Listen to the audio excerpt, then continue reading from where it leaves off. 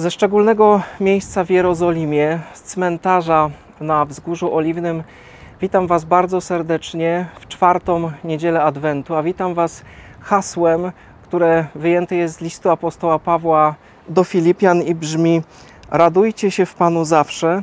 Powtarzam, radujcie się, bo Pan jest blisko. Być może zastanawiacie się, dlaczego akurat to miejsce, dlaczego cmentarz. E, Tutaj drobny wtręt na cmentarzach chrześcijańskich często kładzie się kwiaty, zapalamy znicze, a jak wiemy, cmentarze żydowskie charakteryzują się tym, że nie zobaczymy kwiatów, nie zobaczymy zniczy, ale zobaczymy kamień, który kładzie się na pamięć zmarłej osoby. No ale dobrze, dlaczego radość i mowa o radości na cmentarzu? My w naszym życiu poszukujemy radości, ale często nasze życie przepełnione jest lękiem, strachem o przyszłość.